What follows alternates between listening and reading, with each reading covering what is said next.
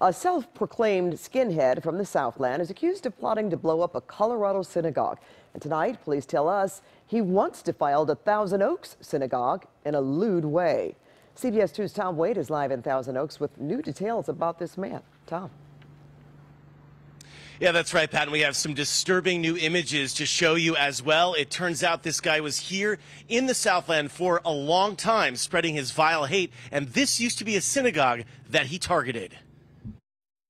Police say these are partial screenshots from a video recorded by skinhead Richard Holzer that he shot of himself urinating on the front door of what was the Chabad of Thousand Oaks. The temple has since moved. Tonight we spoke with the temple's rabbi, who was stunned when he learned Holzer was the same man arrested in Colorado for plotting to bomb a synagogue there. It's very, very ironic and creepy. And uh, Rabbi Chaim Bryski says a Ventura County detective alerted him last year about Holzer after the detective found the video on Holzer's social media. We've never smelled anything. We never noticed anything.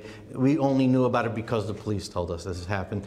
Detectives here were monitoring Holzer after they were alerted to hate speech he was posting online.